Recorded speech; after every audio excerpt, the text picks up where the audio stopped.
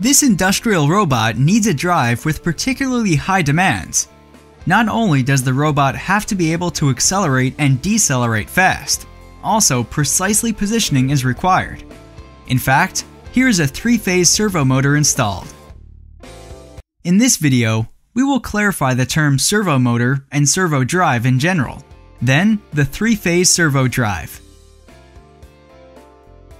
The servo motor is a part of a servo drive, whether brushless DC motor, synchronous, or a robust asynchronous motor.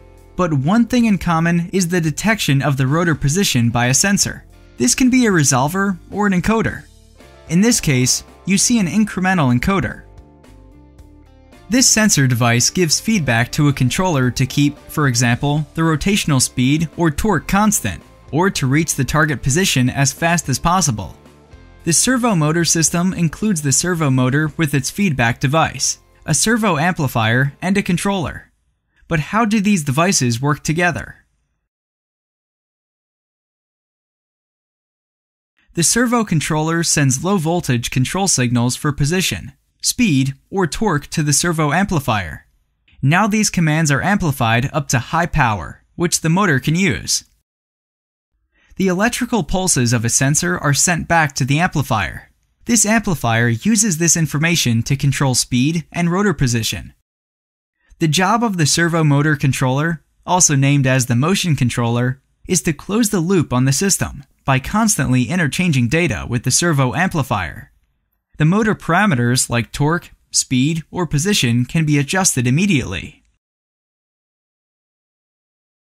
Some manufacturers offer modules, which combine the controller and the amplifier, so you would have fewer parts, fewer connections, and a smaller footprint.